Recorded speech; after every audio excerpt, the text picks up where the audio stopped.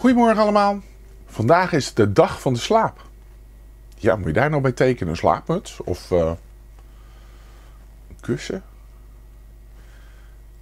Nee, wacht. Laten we een bed gaan tekenen. Uh, wat voor bed?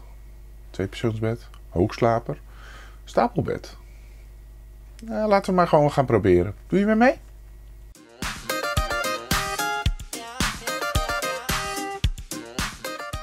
Ja, een bed. Um, laten we een, een bed tekenen uh, waar we op kijken, zeg, of tenminste vanaf het voeteneind.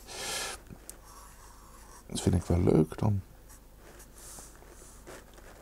Zo.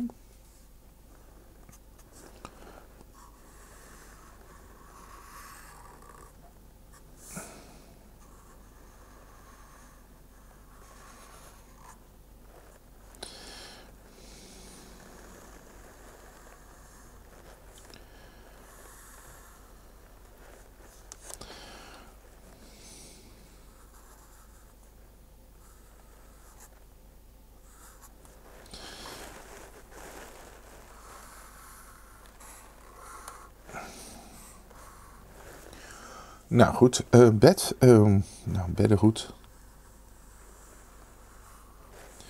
Uh, en een kussen. En natuurlijk nog een kussen.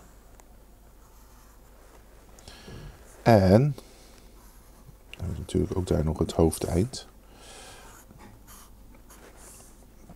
Het hoofdeind is vaak dan net weer wat hoger, hè? Zo. Misschien daar ook een, mooie versiering zo.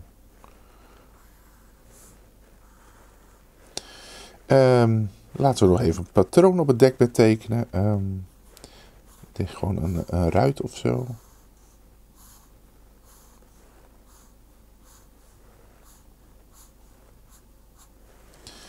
Zo. Dan draaien we even het velletje. Thuis nog zo kan zien, ja.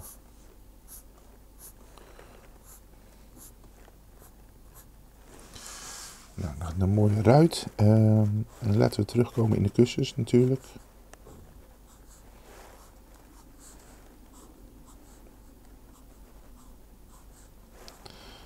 Het is wel mooi als we natuurlijk uh, overal hetzelfde dekbed hebben. De kussens daarbij passen.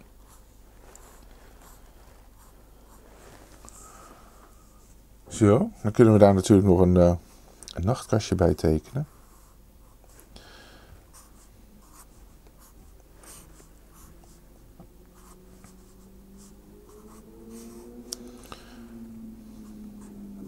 Misschien nog een lampje, bedlampje. Zo, dat zou aan de andere kant natuurlijk ook komen. Maar het ging om het bed. Um, ik zie jullie morgen in de volgende video. En uh, succes met verschillende soorten bed tekenen. Tot morgen.